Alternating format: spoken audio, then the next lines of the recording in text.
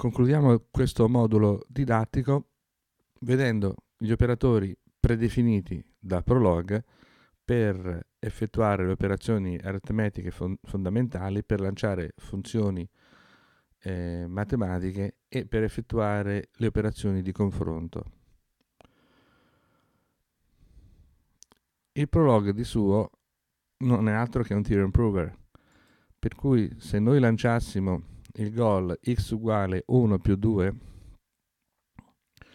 quello che succederebbe è che il prolog farebbe partire eh, la procedura associata all'operatore uguale che abbiamo visto nella logica che eh, fa il matching che è qualcosa di simile all'unificazione fra il matching fra, fra le due sottoespressioni che compaiono a sinistra e a destra dell'operatore di uguale quindi ciò che eh, fa il prolog è semplicemente restituisce eh, la risposta calcolata che a x associa l'espressione 1 più 2.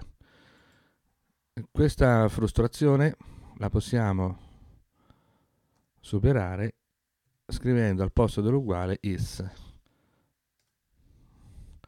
Is è un operatore predefinito del prolog che eh, deroga rispetto al normale funzionamento del prologue, del, eh, inteso come Theorem Improver, e quello che fa è prende la sottoespressione che è alla sua destra, che si intende sia composta di eh, operatori o funzioni aritmetiche, quindi sia una espressione aritmetica, e eh, lancia un uh, un, un programma che eh, sarà una funzione booleana che eh, restituirà vero o falso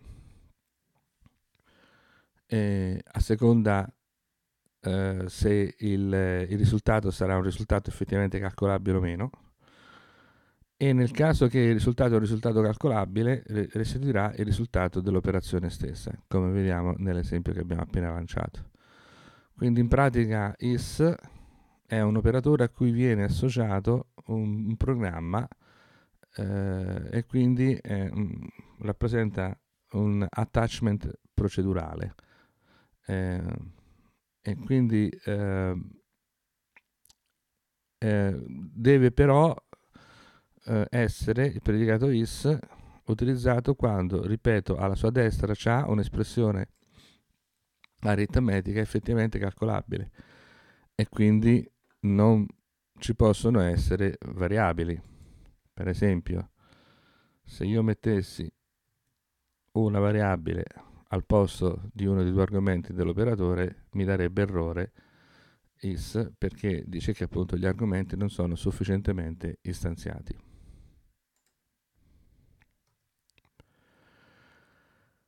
Dal manuale del prolog consultando l'help potete vedere, potete eh, imparare a conoscere tutti gli operatori aritmetici predefiniti del linguaggio stesso, che lavorano sia con eh, numeri interi che con numeri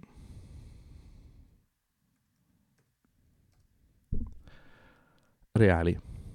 Eh, secondo eh, eh, l'implementazione utilizza gli standard che sono noti per quanto riguarda sia la rappresentazione degli interi, vengono rappresentati in complemento 2 e eh, i reali che vengono rappresentati secondo lo standard IEEE 754.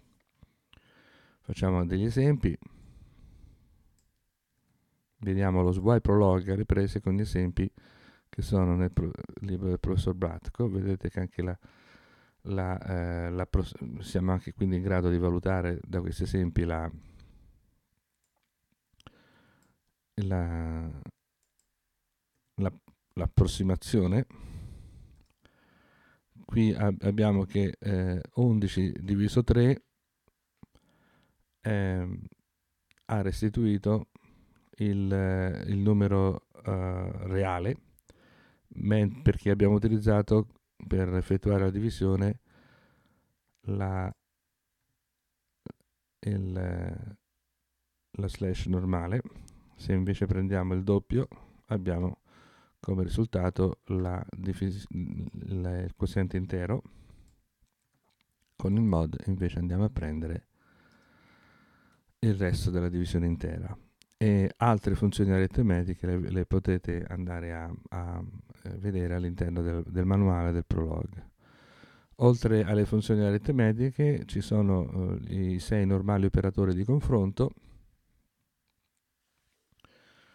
eh, sono simili a quelli che avete imparato dal C, a parte gli ultimi due, ehm, dove l'uguale è un doppio uguale sì, ma con il, i due punti al centro, e il diverso ha invece lo slash al centro.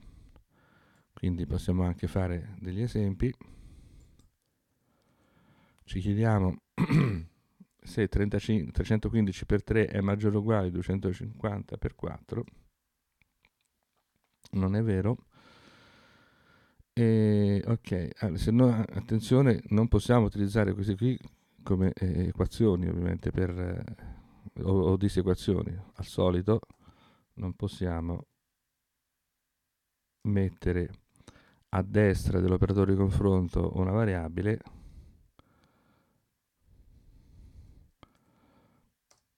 e non la possiamo mettere neanche a sinistra.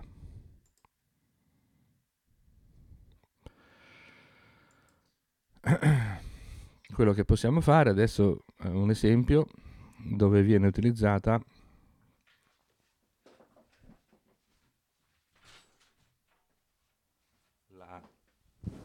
le, le, l'is per andare a calcolare la lunghezza di una lista. eh, potete farlo a modo di esercizio, però intanto qui lo guardiamo. Per calcolare la lunghezza di una lista si può utilizzare una clausola, uh, un, un predicato che ha due clausole, e la seconda dei quali è una clausola ricorsiva. Chiaramente non, non possiamo non esaminare, non, non, scorrere tutta la lista e quindi ci vorrà un predicato ricorsivo eh, per, non possiamo non farlo per calcolare la lunghezza. E comunque l, l, la, la, clausola, il tappo della ricorsione sarà ovviamente la lunghezza della lista vuota è 0.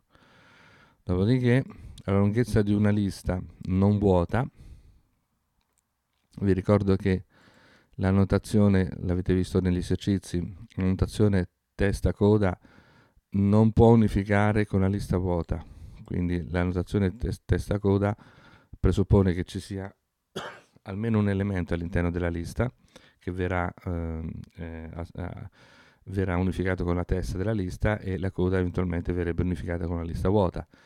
Quindi la notazione testa coda, ripeto, non può unificare con la lista vuota. Dicevo, eh, una lista non vuota avrà una lunghezza n se eh, essendo n0 la lunghezza della coda, n è n0 più 1.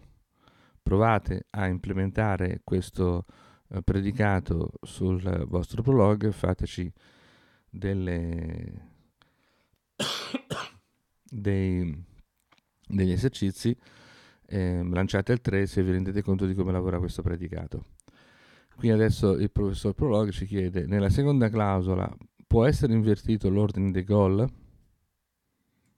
Ci ragionate magari un attimo, ma eh, chiaramente la risposta è no. Per quale motivo? Perché n0 deve essere istanziato per poter comparire a destra di un is e quindi ha bisogno che la eh, procedura ricorsiva length lo istanzi. Se mettessimo prima questo, questo atomo qui, avremmo che n0 nel momento in cui viene lanciato questo, questo, questo atomo come goal sarebbe non istanziato, l'is farebbe partire un procedural attachment dove qui c'è una variabile che non ha un valore e quindi non potrebbe calcolare il risultato dell'espressione. Quindi la risposta a questa domanda è no. Con questo chiudiamo eh, questa unità didattica e chiudiamo anche la... Eh, il modulo didattico che è stato dedicato alle liste, agli operatori e all'aritmetica. Eh, a voi adesso esercitarvi con questi concetti per approfondire la, la conoscenza e per acquisire dimestichezza con la programmazione delle liste, soprattutto con la definizione degli operatori e con l'aritmetica semplicemente si tratta di conoscere quelle che sono le, le, gli operatori e le, le funzioni aritmetiche preimplementate all'interno del Prolog.